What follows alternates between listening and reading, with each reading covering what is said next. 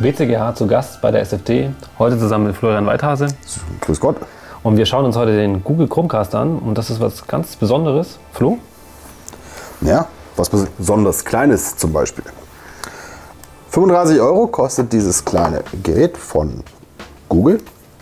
So schaut es aus. Man könnte jetzt meinen, das wäre ein USB-Stick. Sieht so aus, ist es aber nicht. Es hat nämlich hier am Ende einen HDMI-Anschluss. Lässt sich also direkt am Fernseher anschließen. Ganz so einfach ist es dann doch nicht, weil in der Kiste ist noch ein bisschen mehr.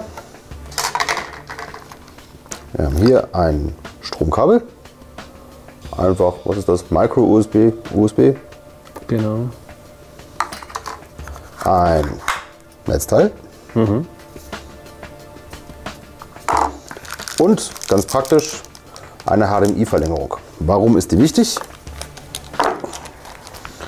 Wenn man mal genau hinschaut, ist das Ding ganz schön breit und bei den meisten modernen Fernsehern ähm, würdest du damit vielleicht den nächsten HDMI verdecken. Also ähnlich wie bei zu großen USB-Geräten ist es auch hier so, dass man den Adapter nutzen kann, der ist etwas schlanker, macht hinter dem Fernseher keinen Unterschied. Schön, dass Google das mit reingelegt hat. Okay. Auch schön, man braucht das Netzteil nicht zwangsläufig, wenn der Fernseher einen freien USB-Anschluss hat.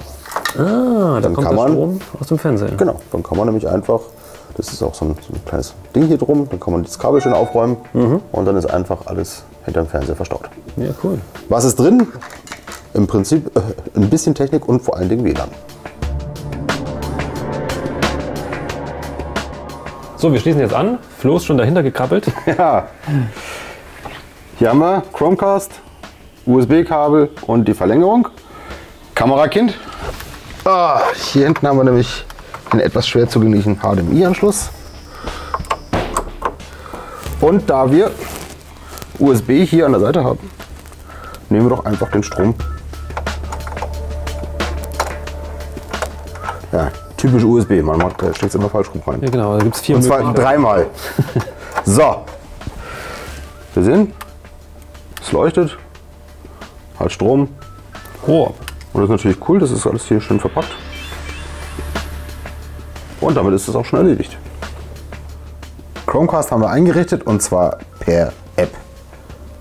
Wir brauchen nämlich zusätzlich zum Chromecast auf jeden Fall irgendein smartes Gerät. Das kann ein Computer sein, das kann ein Tablet sein und das kann ein Smartphone sein. Sowohl iOS als auch Android. Die eigentliche Chromecast-App dient nur zur Einrichtung. Man kann jetzt also nicht direkt Chromecast damit steuern. Aber man braucht es zur Einrichtung und dann kann man eine mittlerweile noch recht kleine Auswahl an Apps also sich aussuchen, unter anderem YouTube oder Watchever oder Red Bull TV oder natürlich auch äh, Google Play Movies, womit man dann direkt äh, Filme, die man sich bei Google geliehen oder gekauft hat, auf dem großen Fernseher anschauen kann. Wir starten einfach mal mit YouTube. So, jetzt kann ich hier in der YouTube-App ganz normal mir was aussuchen. Hier die Werbeparodien meinetwegen. Da ist ein kleines Symbol. Und das ist das Chromecast-Symbol. Wenn ich da drauf tippe, steht hier unten SFT Chromecast, so haben wir unser Gerät genannt. ah, jetzt passiert was. YouTube. Man sieht im Hintergrund auf unserem bescheidenen kleinen Fernseher, geht's jetzt los. Kann hier am Gerät leiser machen, dann wird es da leiser. Ich bin im Stress.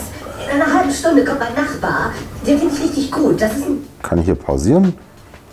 Was dabei wichtig zu wissen ist, ich streame im Moment nicht vom Handy auf Chromecast, also auf den Fernseher, sondern eigentlich übermittelt er nur, was er sich anschauen soll. Ich habe zwar hier die Befehle, aber das geht alles über das Netzwerk. Also verstehe. Handy und äh, Chromecast sind jetzt im gleichen WLAN, Ja. deswegen funktioniert das. Was ein bisschen schade ist, wenn ich jetzt hier spule, wie man das sieht, wird das zwar übermittelt, aber ich sehe kein laufendes Bild. Wenn man also im Film eine Stelle sucht, ist er so ein bisschen auf gut Glück. Ja. Und es dauert hin und wieder auch ein bisschen, bis es losgeht. 12, 31, irgendwas mit 31 halt. Was weiß ich? Aber ganz klar, so ein YouTube-Video kommt auf dem großen Fernseher natürlich ein bisschen besser als auf dem kleinen Screen hier. Okay, was natürlich richtig interessant ist, sind Video-on-Demand-Dienste. Video-on-Demand-Dienste, Watch Ever, Abo, kostet glaube ich knapp 9 Euro im Monat, hat relativ viele Serien ähm, und auch ein paar gute Filme. Oder natürlich sowas wie Play Movies von äh, Google. Wir haben hier mal Watch Ever. Ja, was ist mit Amazon, mit dem neuen Dienst von Amazon? Im Moment äh, geht das nicht. Oh. Das ist schade. Ähm, Maxdome ist angekündigt. Ja. Das ist eigentlich das gleiche Problem wie immer bei Video on Demand. Nur wenn du die richtige Ausstattung dafür hast, dann funktioniert es auch. Und in, bei Chromecast gibt es halt zurzeit Watch Ever und äh, ja, bald Maxdome. Und natürlich den eigenen Google-Dienst. Und hier läuft es jetzt eigentlich wie bei YouTube. Ich kann mir meine Inhalte aussuchen. Hier, ein Klassiker. äh, Lorio, Papa Ante Porters. Ansehen. Es dauert einen kleinen Augenblick. Und dann auch hier wieder. Ansehen auf dem TV steht da oben schon. Das funktioniert ja ganz toll. Und äh, haben wir es schon? So! Chromecast. Ich sehe nichts. Ah, jetzt. Und unser Programm auf dem großen Screen. Äh, Wo ist denn mein Dings? äh, Das, äh, das, was denn? Das kleine Dings, das schwarze.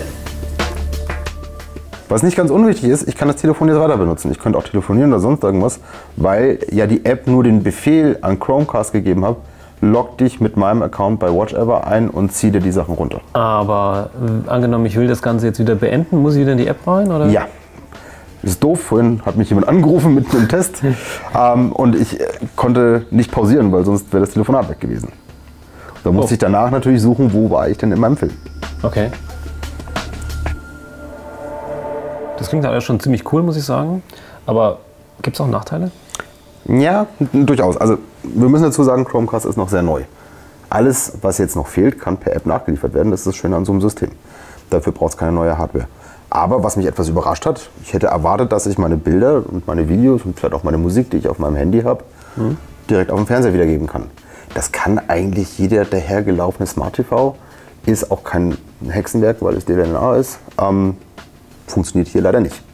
Also ich habe keine Möglichkeit, ähm, meine Fotos einfach auf dem großen Schirm ähm, darzustellen. Und das ist ja eine sehr naheliegende Funktion. Ja, weil zehn Leute ums Smartphone rum ist Ja, nicht so klar. cool wie die Dia-Show des 21. Jahrhunderts direkt äh, auf dem Screen. Oder auch selbstgedrehte Videos. Oder einfach mal eben Musik anmachen. Technisch müsste es möglich sein. Ähm, ich wüsste nicht, warum es nicht gehen soll.